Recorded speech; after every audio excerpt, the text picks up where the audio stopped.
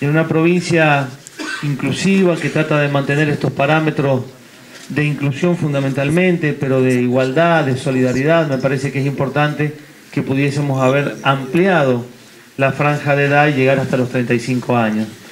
Y el Estado tiene una enorme obligación, fundamentalmente para con todos los estudiantes, pero muy especialmente para con quienes vienen de departamentos alejados. Yo provengo de un departamento, no es sumamente alejado, no es de los más alejados, pero sí es del interior de la provincia.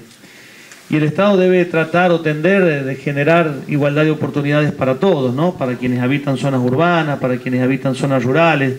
Estos 8.000 beneficiarios que están contenidos en cada uno de ustedes y particularmente estos más de 3 millones de boletos que vamos a poner a disposición en todo el año, con esta particularidad de una primera etapa hasta el receso invernal de una manera, y a partir de ahí hacia adelante con la tarjeta sube, viene a construir una sociedad que haga hincapié que la, educación, y nosotros hemos agregado el deporte también, pero la educación fundamentalmente es vital para construir una sociedad que tenga parámetros distintos de crecimiento y parámetros distintos fundamentalmente de consideración social entre quienes la integramos.